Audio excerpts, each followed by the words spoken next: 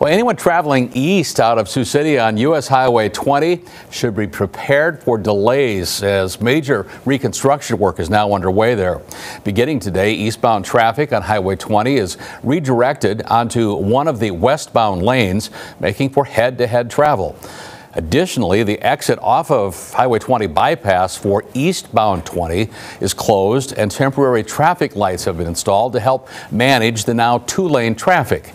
We spoke with the Iowa DOT about the project and why the changes are needed. And this is not something that is new. You can look in the future land use plan of Woodbury County. They've got commercial along most of US 20. With the completion of the four lanes of US 20, it's accelerated that, that growth towards the east. A driver should take notice of the traffic signals now installed near that work area, and the project is expected to run the rest of this year with additional paving further east on Highway 20 in the coming year.